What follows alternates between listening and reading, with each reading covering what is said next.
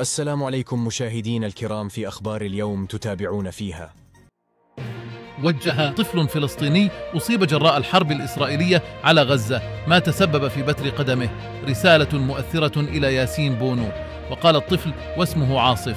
كنت ألعب كرة القدم فباغتني صاروخ وأصابني وتسبب في بتر قدمي. مضيفا أنه يتمنى لقاء الدولي المغربي ياسين بونو. حارس مرمى الهلال السعودي. وأكد عاصف أنه كان يحلم منذ صغره بأن يصبح حارس مرمى لكن الاحتلال دمر حياته مشيرا إلى أنه يتوفر على كل لوازم حراسة المرمى وأنه يرغب في استكمال دراسته وتحقيق حلم الطفولة. وجه طفل فلسطيني أصيب جراء الحرب الإسرائيلية على غزة ما تسبب في بتر قدمه. رسالة مؤثرة إلى ياسين بونو. وقال الطفل واسمه عاصف.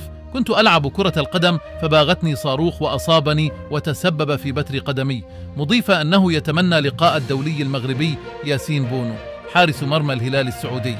وأكد عاصف أنه كان يحلم منذ صغره بأن يصبح حارس مرمى لكن الاحتلال دمر حياته مشيرا إلى أنه يتوفر على كل لوازم حراسة المرمى وأنه يرغب في استكمال دراسته وتحقيق حلم الطفولة.